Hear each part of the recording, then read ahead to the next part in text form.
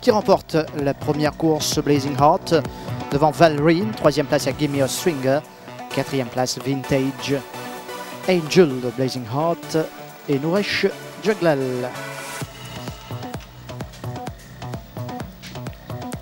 It Doesn't Matter va nous sortir la meilleure accélération en pleine piste. Toc jaune pour Nishal Tia. Il va accélérer à merveille pour battre Glitter Rock qui finit second. À la troisième place, Mr. Green Street euh, devant Manetheren qui se trouve côté corde. It Doesn't Matter permet à l'écurie Roussette de réaliser le doublé à partir de là. Troisième course à Vorside de l'écurie Chiam Manuel Nunes. Il s'impose devant Trojan Quest numéro 1. Troisième place euh, dans cette épreuve, il y a eu Roman Dance le 6. Et à la quatrième place, le numéro 9, Baron Bellet. L'écurie Simon Jones respire un bon coup avec Arctic Flyer à la lutte avec JJ's Captain ici pour la victoire de la quatrième épreuve. Arctic Flyer va forcer la décision grâce à Jamir Ali face à JJ's Captain et puis Strike finit troisième et Freddy Flint quatrième. La cinquième course à Patrol Officer qui s'impose facilement le numéro 7 pour l'écurie Gilbert Roussette, Michel Tiha. Devant le 9, It Dawn on May. Troisième place pour le 4, et Ticket Holder. Et quatrième, le numéro 10, Master of Spain. Patrol Officer, l'envolé.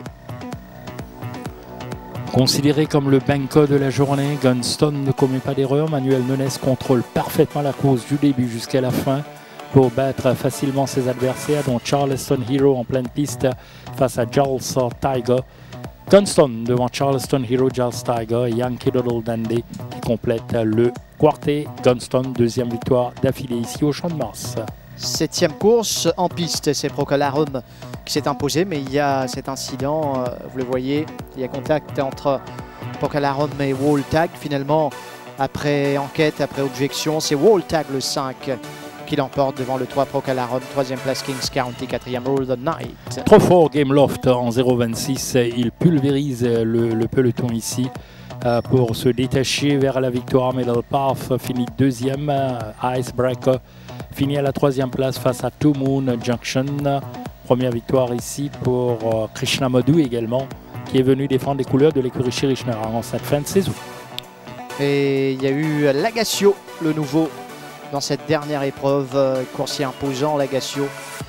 Nouvelle unité de l'écurie Gadjedar montée par Olivier Placé, s'imposant Anton Ruskin.